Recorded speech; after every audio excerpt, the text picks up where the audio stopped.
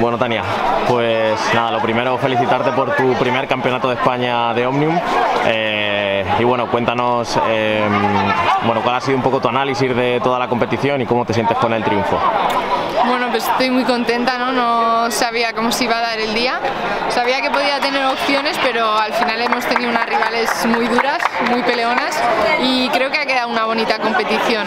He empezado un poco contrapié, no me encontraba muy bien, estaba un poco fatigada, llevo unas semanas entrenando duro en competiciones duras y he conseguido darle la vuelta a estas sensaciones malas, así que he podido llevarme el triunfo.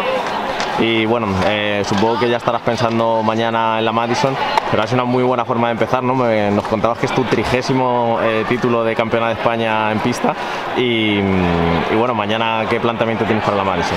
Pues mañana es pues una pareja nueva, no hemos competido nunca, vamos a competir Naya Mondarain y yo y bueno, a ver, a disfrutar como estos días de la bici, ¿no?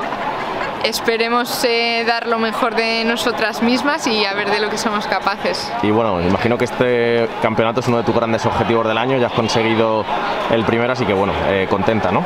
Sí, la verdad que contenta de empezar eh, de este modo la temporada. Perfecto, muchas gracias Tania. Gracias.